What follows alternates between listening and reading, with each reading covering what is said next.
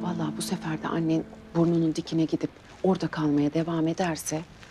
...anneni kaybetmeyi göze alıp seni yanıma alacağım. Yok canım. Artık o da kalamaz. Deniz mantığıyla değil hisleriyle hareket eden biri.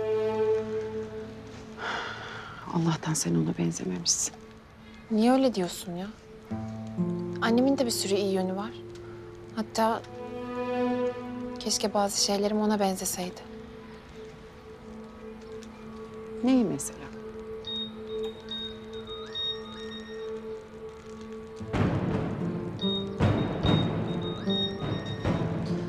Geliyorum birazdan.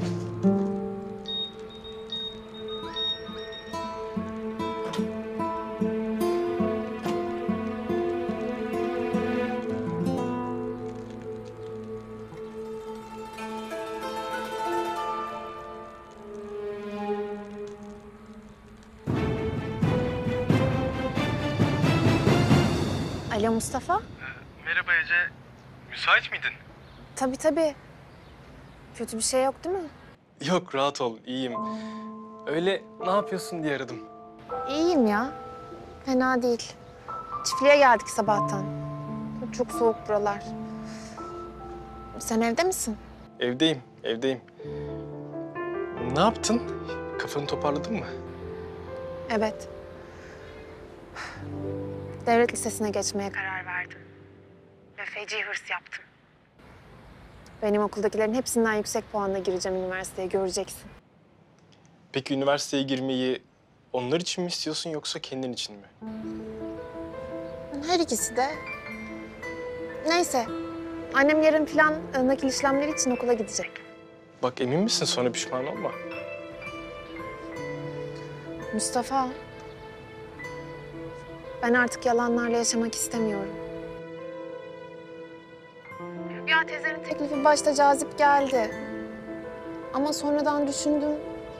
Yani onun imkanlarıyla bana ait olmayan bir hayat yaşayacakmışım gibi olacak. Ve ben bunu istemiyorum. Anlıyorum. Gerçeklerle yüzleşecek cesaretim var mı? Öyleymiş gibi mi yapıyorum onu da bilmiyorum şu an. Sadece artık yalan yok. Ne hissettiğini bu kadar açık söyleyebilmem bile cesaret.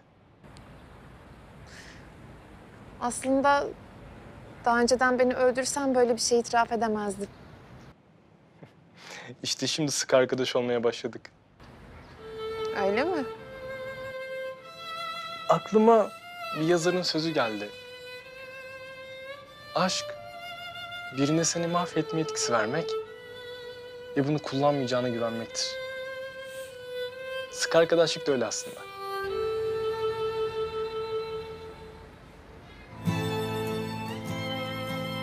Daha fazla video izlemek için kanalımıza abone olabilir.